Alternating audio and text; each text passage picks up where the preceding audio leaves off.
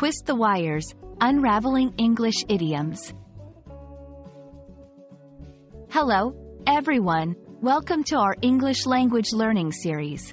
Today, we're diving into the world of English idioms, specifically the phrase, twist the wires. This idiom might sound a bit technical, but it's actually used in everyday English. Let's unravel its meaning and usage together. Idioms are expressions that don't mean exactly what the words say. They have a figurative meaning that's different from the literal meaning of the individual words. Like, twist the wires, many idioms create vivid images to convey their meaning. Understanding these expressions is key to mastering conversational English.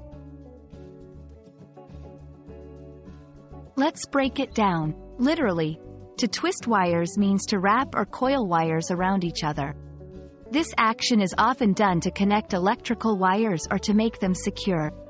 However, in the idiomatic sense, this phrase is not about electricians' work.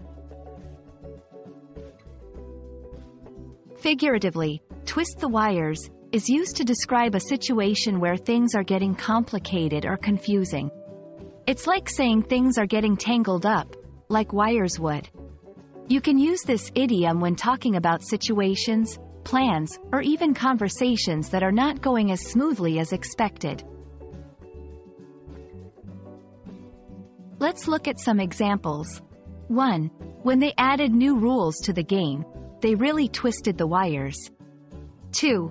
I thought I understood the plan, but your last comment twisted the wires for me. These examples show how the idiom is used in everyday conversations to express confusion or complication.